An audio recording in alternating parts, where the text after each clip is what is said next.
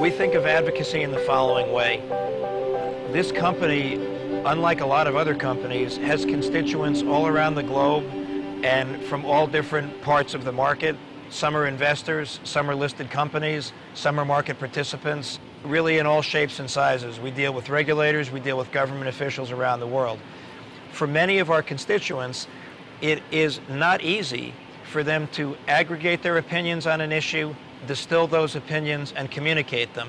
And we find ourselves in a fairly unique position where, because of the trust we've engendered over 200 year history, our voice will be listened to, and we can use that voice on their behalf, I think, very effectively.